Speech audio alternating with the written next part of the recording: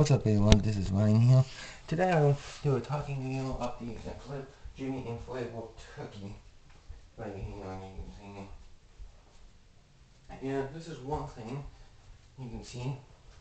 This is the inflatable turkey right here, and you can see this thing has been used ever since 2020. It was brand new in 2020 and used, it will be used again in 2023, which um, is what it is exactly. But I don't know if it still works or not because it's been sitting here, it's been sitting in the box probably, probably since since um we put it away, we put the Christmas lights over here like here, but this is like, like I don't know, something like maybe how much, how much you can tell the difference between one.